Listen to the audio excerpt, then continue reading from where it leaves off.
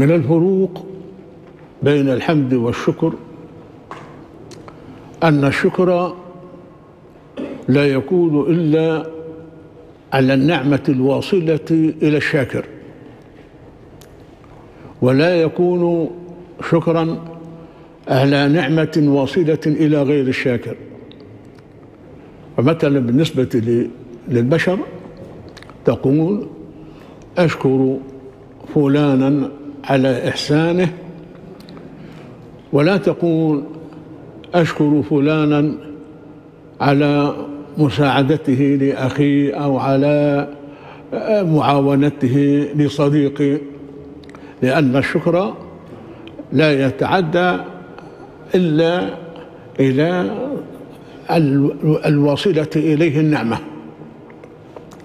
أما الحمد فهو عام. تحمد النعمة الواصلة إليك أو إلى الواصلة إلى غيرك. تحمد الشخص على إحسانه وتحمده على إحسانه لأخيك. وبالنسبة لله تعالى تشكر الله على نعمته التي أسداها إليك. ولكن لا تشكره على النعمة التي وصلت إلى غيرك. أما الحمد فتقول أحمدك يا الله مثلا على نجاحي وأحمدك يا الله على نجاح صديقي. بل الحمد أعم من ذلك.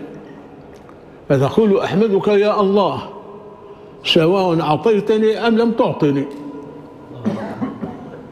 فأنت جدير بالحمد مطلقا. هذا فرق بين الحمد والشكر. الفرق الثاني أن الشكر يقول يكون على الإحسان والنعمة الواصلة إلى الشاكر كما قلنا ولا يكون على الصفات الذاتية للمشكور. أشكرك على إحسانك أشكرك على مساعدتك لكن لا تقول أشكرك على شجاعتك لأن الشجاعة صفة ذاتية. أو أشكرك على علمك أو أشكرك على قدرتك. أما الحمد فيكون على الأفعال وعلى الصفات الذاتية. تحمد الشخص على إحسانه وتحمده أيضا على صفاته الذاتية على مروءته على شجاعته على إنسانيته. فهو بذلك أعم من الشكر. وبالنسبة لله تعالى تحمد الله على إحسانه وإنعامه إليك. وتحمده على صفاته أيضا. أحمد الله على علمه. أحمد الله على سمعه. أحمد الله على خلقه. أسمع أحمد الله على بصره. وهكذا. من الفروق بين الحمد والشكر أيضا أن الحمد لا يكون إلا باللسان. وأما الشكر فيكون باللسان وبالعمل وبالقلب.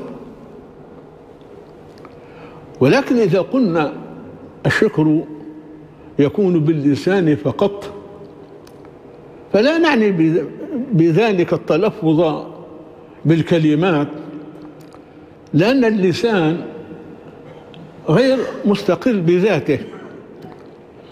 هو يعبر عن الأفكار التي تختلج في الذهن وعن المشاعر التي يجيش بها الصدر.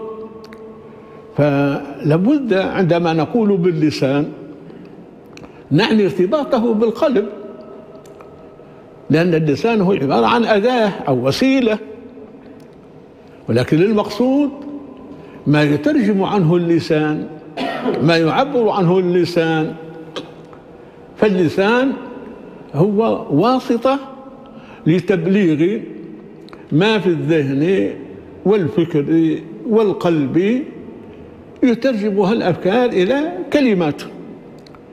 ولذلك لابد من هذا القيد لأن يقولون أن الحمد يكون باللسان فقط. لا لابد باللسان لأن اللسان مجرد أداة. ولذلك فكلام الشخص النائم لا يعتد به لأنه على غير وعي وغير صادر عن إدراك وإرادة. أو صوت الذي يهذي نتيجة لتأثير الحمى عليه. أيضا لا يؤاخذ به. أو الكلام تحت تحت الضغط والإكراه. لا يعتد به في القضاء لأنه غير صادر عن إرادة وعن وعي. فلابد من هذا البيان وعندما نقول أن الحمد يكون باللسان فقط لابد أن ندرك هذه العلاقة بين اللسان وبين الفكر والذهن وبين القلب. وإلا لا يكون للسان أي قيمة. ولهذا كان الإنسان مسؤولا عن كلامه. هل هو مسؤول عن الكلمات المجردة التي يقولها؟ لا. هو مجرد عما يعبر عنه لسانه من عقيدة أو من اعتراف أو من إنكار أو من إيجاب أو من سلب. هو في الواقع يكون مسؤولا ومحاسبا على ما في ذهنه وعلى ما في قلبه. وما اللسان إلا أداة التعبير والترجمة فقط. أما الشكر يكون باللسان. وشك... أما الحمد الشكر يكون باللسان ويكون بالقلب ويكون بالعمل. يكون بالشكر يكون الشكر باللسان ثناء واعترافا بالجميل والفضل. فبالنسبة للشخص الذي أحسن إليك تشكره لأنه أسدى إليك معروفا وتثني عليه. وبالنسبة لله تثني على الله سبحانه وتعالى بما هو أهله وتعترف بفضله ونعمته التي أنت غارق فيها. وبالنسبة للقلب أن يكون الشكر عبارة عن الخشوع والخضوع والإيمان العميق بالله سبحانه وتعالى. ويكون الشكر عملا كما قال تعالى اعملوا آل داود شكرا. يكون بتسخير الجوارح في طاعة الله تعالى. عندما تسخر جوارحك وكل أعضائك في مرضاة الله بأن تأتمر بأوامره وأن تنتهي عن نواهيه فأنت بذلك قد شكرت وأديت شكر هذه الجوارح لله تعالى. من هذا الاستعراض نرى أن الشكر أعم من الحمد من حيث الأنواع من حيث الأسباب لأنه يتعلق باللسان والقلب والعمل. والحمد أعم من حيث التعلق لأنه يتعلق بالنعمة الواصلة إلى الحمل وإلى غيره. وأيضا يشمل الحمد على الأفعال وعلى الصفات الذاتية. فإذا الشكر أعم من الحمد من جهة والحمد أعم من الشكر من جهة أخرى وهما متكاملان. يؤدي كل واحد منهما إلى الآخر. أيضا هناك فرق بين الشكر وبين المدح.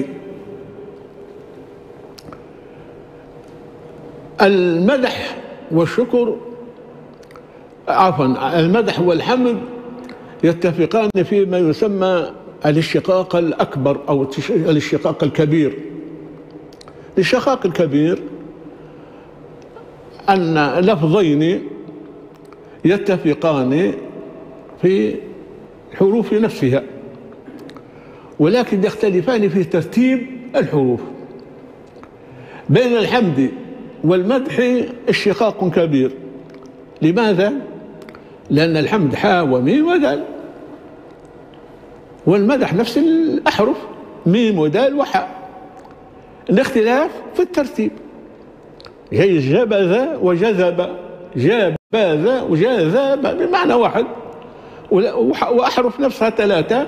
ولكن الاختلاف في ترتيبها. هذا يسمى الاشتقاق الكبير. وبينهما فروق. الحمد لا يكون إلا للحي العاقل ذي العلم. وأما المدح فيكون للحي وللجامد فهو عم الحمد تحمد الشخص. هذا للحي. وتحمد ساعتك. وهي جماد لأنها دقيقة لا تقدم ولا تؤخر مضبوطة في التوقيت. وتحمد الآلة. لأنها سريعة في إنجازها. ولكن لا يصح أن تحمد الساعة أو تحمد الآلة. هذا فرق بينهم. المدح يكون قبل الإنعام وبعد الإنعام. تقول أمدح فلانا لأنه أعطاني وتقول أمدح فلانا لأنه سيعطيني. فيصلح المدح قبل الإنعام وبعده. أما الحمد فلا يكون إلا بعد الإحسان والإنعام لا يكون قبله. هذا فرق ثاني. الحمد يكون مع محبة المحمود وتعظيمه وإجلاله كما بحثنا في الدرس الماضي. عندما تحمد شخصا أو تحمد الله تعالى أن يكون الحمد مصحوبا بمحبتك للمحب للمحمود وإجلاله وتقديره واحترامه. أما المدح فعام قد تمدح شخصا وأنت لا تكن له احتراما ولا تقديرا ولا محبة. وهذا لا يكون مدحا. المدح مش الحمد لا يكون حمدا. الحمد مشروط فيه أن يكون مصحوبا بالمحبة والتعظيم للمحمود. المدح عام أيضا فرق آخر؟ الحمد لا يكون إلا في خير وعلى خير كما قدمنا. ولا يكون إلا صدقا. لا تحمد شخصا وأنت كاذب في حمدك. هذا لا يقال له حمد. أما المدح فكثيرا ما يكون كذبا وتزلفا وتقربا إلى الممدوح. ولذلك اللي جاء في الحديث عن المقداد بن عمرو رضي الله عنه أمرنا رسول الله صلى الله عليه وسلم أن نحثو في وجوه المداحين التراب. معنى نرمي في وجوههم التراب وهو كناية عن نبذهم وتركهم واحتقارهم لماذا؟